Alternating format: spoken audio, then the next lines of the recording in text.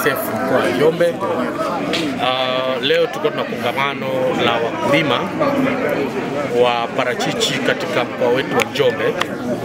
Tumepata wasaa mkubwa wa kuungana nao pamoja na shughuli zao wanazoendelea nazo, lakini tumepata wasaa wa kuongea nao na kuelimisha kuhusiana na mfuko wetu NSSF kama informal sector ambapo wao kama wao wana sehemu ya package yao ambayo tumewaandalia kama mfuko kuhakikisha kwamba wanapofanya shughuli zao wana uwezo wa kuanza kujiandikisha kama wanachama, lakini pia kujichangia kidogo kidogo.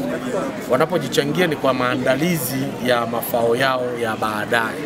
Sasa uwezo wetu sisi ni kuwaelimisha, kwa sababu inavyoonekana elimu kwao ilikuwa ni ndogo kuhusiana na sera ya taifa ya kuhakikisha kwamba wao wanakuwa wanachama lakini pia wanachangia kwa maisha yao ya baadaye. Tumekuwepo na mifumo, tumekuwepo na maandalizi, lakini hawaitumii ipasavyo. Lakini kwa kutumia e, wasaa huu wa leo, naamini kwamba wanachama watakuwa wanachama wetu na watahamasisha wakulima wenzao kuhakikisha kwamba wanakuwa wanachama, lakini wanaendelea kuchangia eh, ka, yani kwa maisha yao ya baadaye. Ni vizuri kuona kwamba leo wana uwezo wa kulima, leo wana uwezo wa kuuza, wakatumia fedha walionayo, lakini kama watatumia nafasi hiyo kujiwekea kidogo, kwa maana kwamba wakipunguza uwezo wa kuanza kuzalisha, basi watatumia fedha iliyoko ndani ya NSSF kuhakikisha kwamba wanajikimu na maisha yao endelevu. Asanteni sana.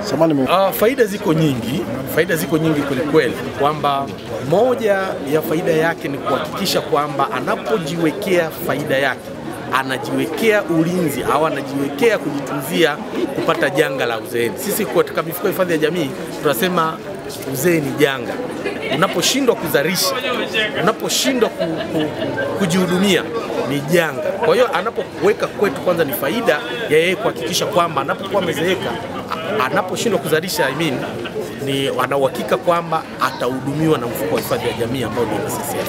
Kwa hiyo hiyo ni faida ya kwanza, lakini faida ya pili ni, ni yeye kuwa na uhakika na maisha baada ya, ya kushindwa kulima kwa sababu anaweza kaa analima kwa mfano akapata stroke akaugua akafanya. Kuna mafao mengi ambayo tumemwandalia yeye. Anaposhindwa uwezo kuweza kulima, sio kuzeeka tu, hata ku, akiugua, sisi kama mfuko tuna uwezo wa kumhudumia yeye.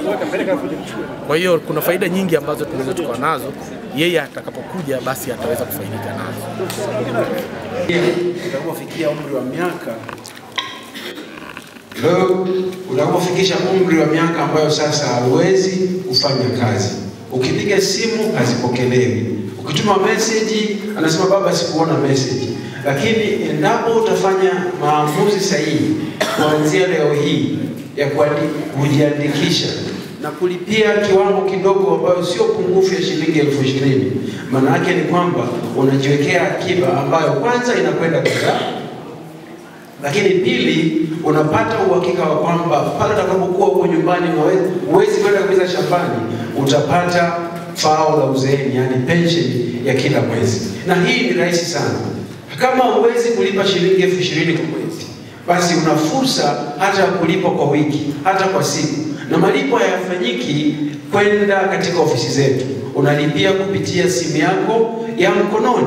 Na endapo wewe ni mkulima na kipato chako ni cha msimu, kwa mfano kipindi cha mavuno kama hiki, unasema mimi nataka niwalipe NSSF shilingi elfu ishirini yao kuanzia leo mpaka tena tunaona msimu mjao wa mavuno, unalipa shilingi elfu ishirini mara kumi na mbili laki mbili na arobaini. Umeshajiwekea akiba yako, lakini umetengeneza mazingira mazuri ya kuweka kupata pensheni pale utakapokuwa hauna uwezo wa kufanya nini, wa kufanya kazi. Sasa unaweza kujiuliza, mimi ni mzee nimefikisha miaka sitini tayari, itakuwaje?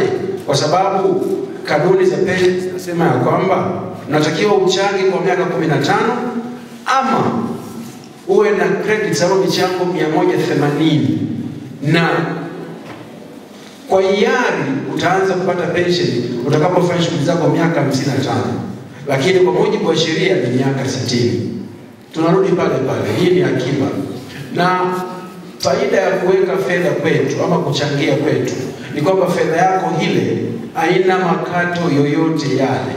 Ni tofauti na wenzetu wengine ambao utaambiwa kwamba ukitoa leo inapungua shilingi tano, ukifanya hivi inapungua kiasi hiki. Sisi unaweka akiba na mwisho wa siku tunahakikisha kwamba ile fedha yako imetunzwa kwa usalama wa hali ya juu na kwamba unahakikishiwa kupewa fao la uzeeni, na sio fao la uzeeni tu, kuna fao la mkupuo pia. Kuna wazee najua wamepata kufanya kazi, wameajiriwa na kwa muda huo wamekufanya shughuli za kilimo, bado wanapata pensheni, lakini pia wakati walivyostaafu walipata fao la mkupuo, wanasema lamsa. Kwa hiyo mimi tumefika hapa Njombe uh, Wanging'ombe, tumekuja tuko kamili kabisa. Tunazo fomu kwa ajili yenu wakulima kwa ajili ya kujaza, na baada ya kujaza taarifa zako zote, na hata endapo ilitokea kwa bahati mbaya ukaitwa na Mwenyezi Mungu, haki yako haipokei. Wale uliowajaza kama warithi wako sahihi ndio watakao nufaika na zile fedha ambazo umeziacha. Kwa hiyo kwa sababu sisi tupo waelimishaji, tuna banda letu hapo nje, tutaandikisha, tutajibu maswali yenu mbalimbali, lakini pia kutoa elimu ya ziada. Na bahati nzuri tumetembea hapa na binti yenu kutokea hapa Njombe, nafikiri naye angependa kusema ile lugha yenu ambayo na mimi ni mtani aongee kidogo tu, angalau lugha ambayo itaeleweka kwa, kwa wazee vizuri. Asanteni sana. Kawede Makasi. Mimi naitwa Mary.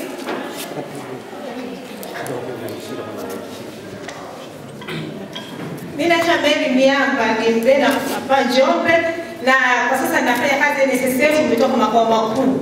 Kwa hiyo tumekuja hapa kwa lengo moja kama walivyosema viongozi wangu, lengo la kutoa elimu kwamba mjiandikishe ili mwe wanachama bure.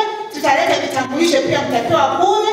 Mtakachofanya ni kujiwekeza elfu ishirini kwa mwezi kama viongozi wangu walivyotangulia, lakini sisi Wabena sisi tunaamini kwenye kufanya kazi na tuna wimbo wetu, na mimi nimekuja hapa